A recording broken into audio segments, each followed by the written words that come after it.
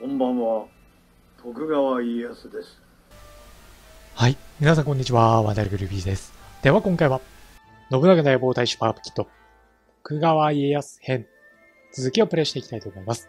前回は初回ということもあってですね、まずは国力の増強、底上げ、これを図りつつですね、飯野屋、ここに攻め込んで、直虎を屈服させ家臣団に引き入れるというところまで進めてきました。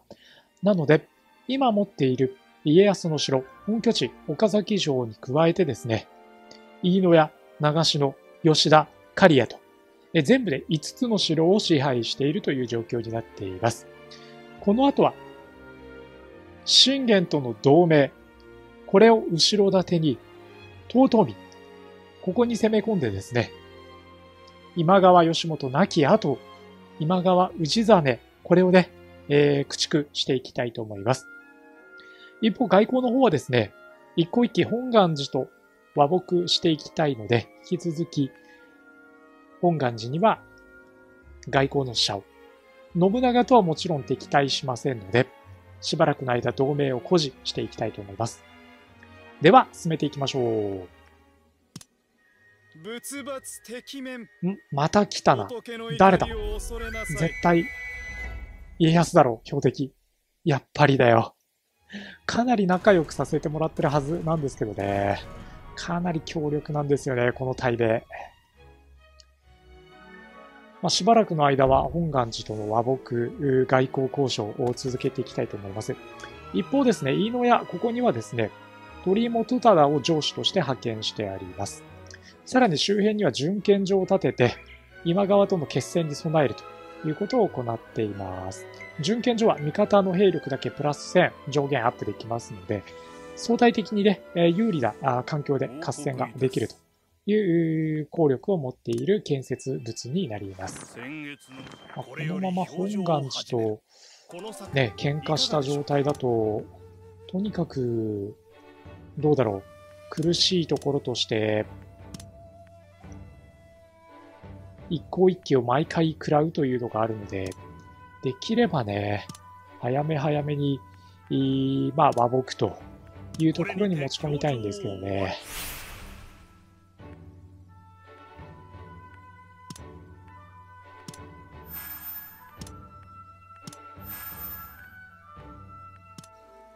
それでは少しターンを進めました。え各城の兵力は元に戻りましたので、これで今度は犬以上に攻撃を仕掛けてみたいと思います。犬以上がどこにあるかというと、ここですね。今川の城、岡部元信が守っているここです。ここに攻撃を仕掛けていきたいと思います。まずは宣戦布告からですね。今川に宣戦を布告していきましょう。川武士の誇り、見せるは今ぞ。わしが当然、同盟の持っている武田はこちらに味方。信長も味方をしてくれますね。では早速出陣していきます。本当はね、あのー、この岩村城、斎藤家の岩村城も気になっていたんですけども、まあ、先にやっぱり人叩き今川しておきたいなというところでね、今、今川に戦線を布告したところになります。では、総勢7700で出撃していきます。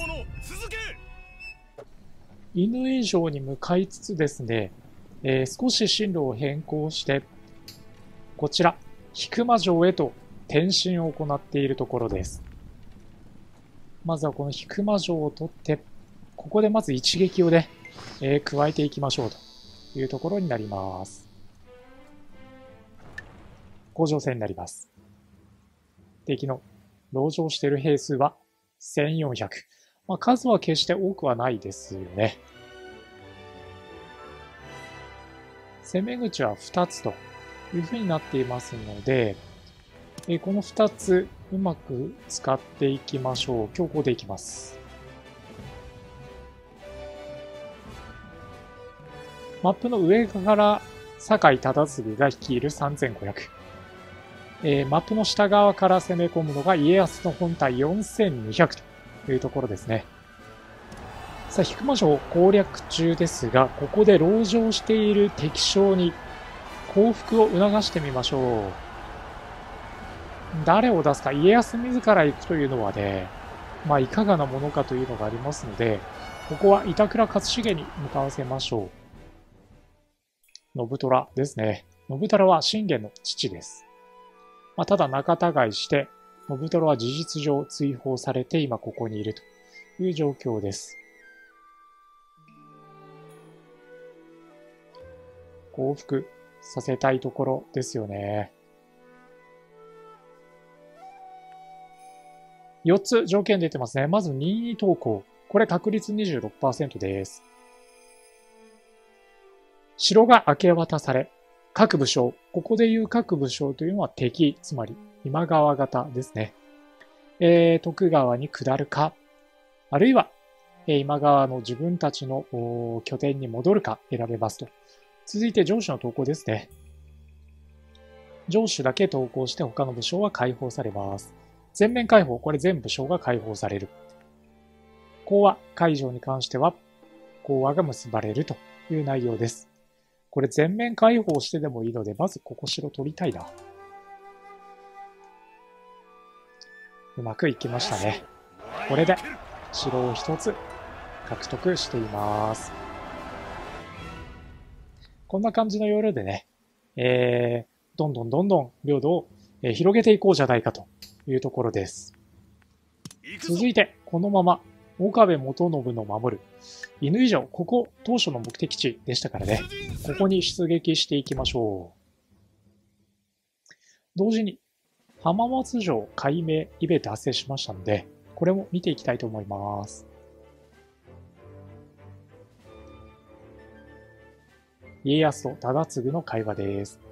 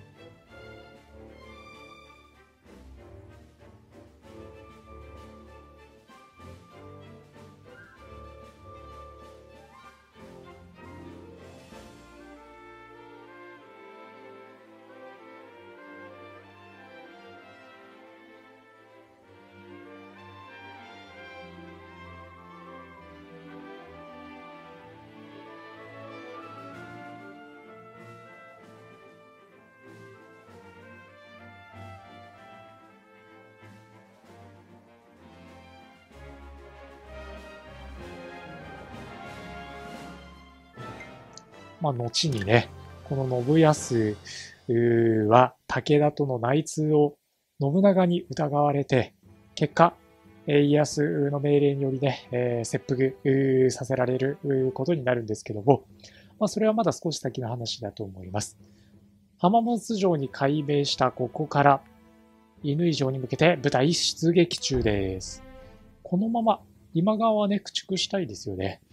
何度かお話ししたことはあると思うんですけども、まこの信長の予防大使パープキットに関してはですね、とにかく序盤、どれだけ領土を拡大できるかで、この後の攻略難易度が全然変わってくるので、えー、急いでね、領土を今広げているというところです。この犬以上も取っちゃいましょう。はい。犬以上も確保しています。残っている今川の城、掛川、あとは駿府。この辺りに兵力が入っているように見えますね。では一旦兵糧も減ってきましたので、部隊引き上げて、戦力、国力の回復に努めましょう。岡部元信はですね、優秀な武将ご覧のように強いので、後々徳川の家臣に引き入れたいので、一度解放しておきます。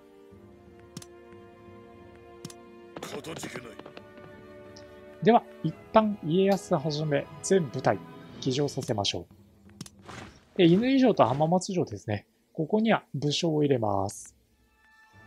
ここで北条が武田に対して戦線を布告しましたね。総兵数、それぞれ3万超え。うん、すごい戦いになりそうですね。おそらくこの時点で最大勢力になっているのがこの武田と北条だと思うんですけども、その武田と北条がぶつかり合うっていうね、えー、そういう戦いですが、ここはもちろん武田に味方します。武田とは同盟関係ありますからね。さらに、信長と斎藤。ここも激突しますね。すでに、道さんから2つほど代替わりして義達に変わっている斎藤家。ここもちろん信長につきます。助立ちいたすん？なんかいよいよ合戦が動き出しましたね。信長から兵を借り入れたいというふうに来ています。まあこれもね、どうする家康というところだと思うんですけども、まあ、信長には逆らないところもありますので、えー、貸し出しましょう。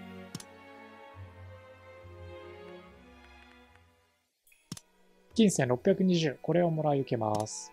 礼を言おう風林火山わしの戦を見せ風てやる林火山も強力ですからね。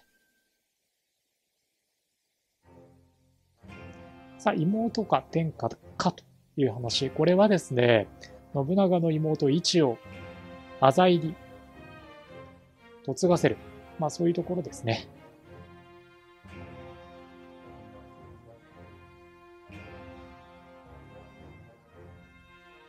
なんかこのお市様の横顔、この角度、鈴木京香にちょっと似てるなって毎回思うんですよね、若い頃に。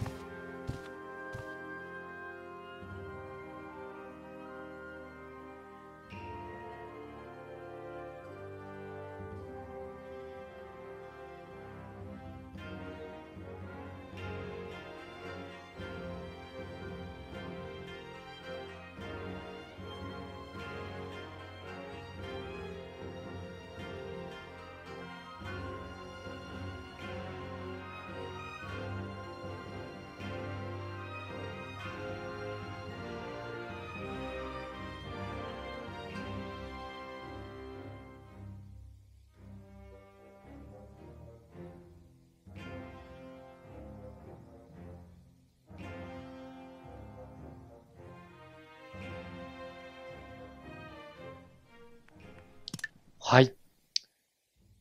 えーどうだろうなここは、信玄と北条がぶつかり合いそうですね。富士山麓で。